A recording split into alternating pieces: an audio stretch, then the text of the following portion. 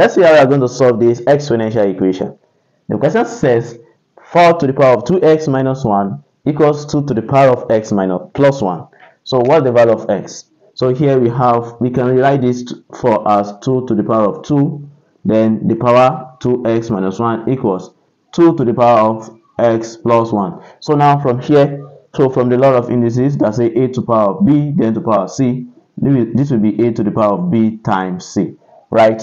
So therefore, and this is like what? This is like b and this is c. So we're going to have 2 to the power of 2 times this, we're going to have 4x minus 2 times 1 minus 1 is going to be 2, then equals 2 to the power of x plus 1. The bases are the same, so we're going to equate the exponent x plus 1.